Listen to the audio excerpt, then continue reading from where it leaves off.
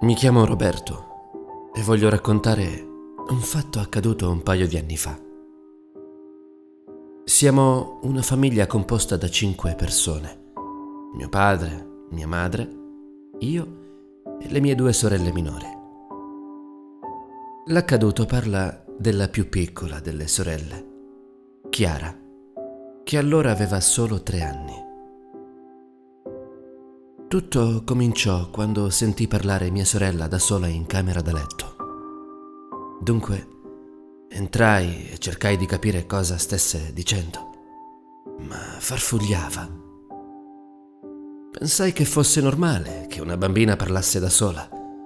Magari giocava con un'amica immaginaria. È molto comune e lasciai perdere. I giorni passavano e la mia sorellina stava sempre più nelle sue. Non comunicava più del dovuto con noi e voleva stare in camera da letto, nella sua culla.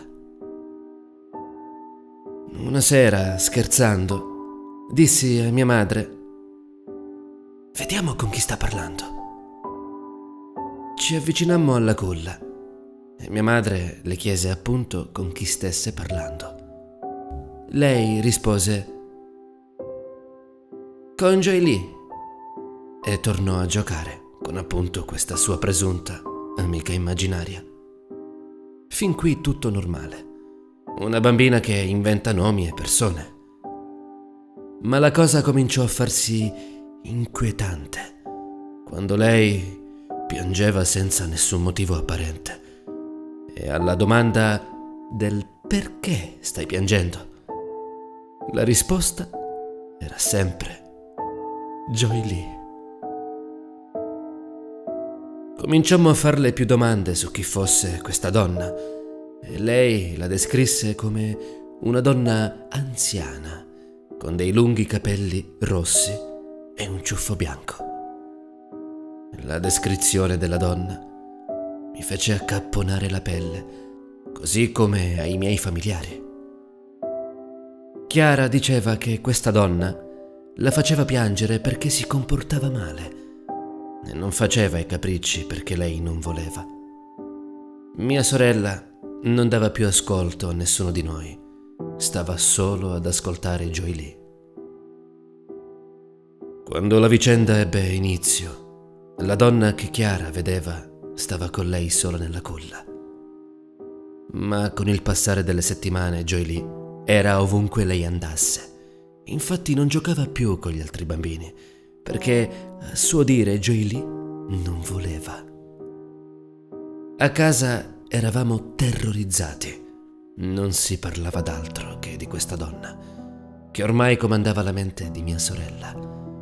Qualsiasi cosa lei facesse, qualsiasi sentimento lei provasse, era sempre e solo a causa di questa Joy Lee. Una mattina una mia zia, molto religiosa, ci consigliò di far benedire la casa e così facemmo, ma con scarsi risultati. Joely era ancora a casa nostra. Cercammo su internet questo nome per capire se avesse un significato. Cercammo anche sulla Bibbia, ma nulla. Non trovammo mai nulla di rilevante. Questa storia andò avanti quasi per un anno. I parenti ci davano per matti, ma noi sapevamo che lei era con noi. Chiara ci diceva che dovevamo comportarci bene o puniva pure noi. La paura era tanta e non sapevamo più che fare.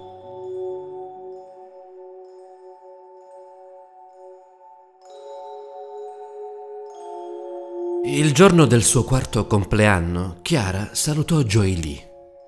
Ci disse proprio: Joy Lee ha finito e se ne sta andando. Salutava con la manina in modo allegro. E alla domanda: Dove sta andando Joy Lee? Lei rispose: Chi? Non la ricordava più. Cercammo di fargli ricordare le cose che ci aveva detto le cose che faceva e anche il modo in cui giocava da sola, ma non ricordava nulla. Abbiamo passato davvero un brutto anno. terrorizzati da una presenza che è poi scomparsa all'improvviso. Non abbiamo ad oggi ancora capito cosa sia successo, so solo che ho i brividi a ripensare a quella donna.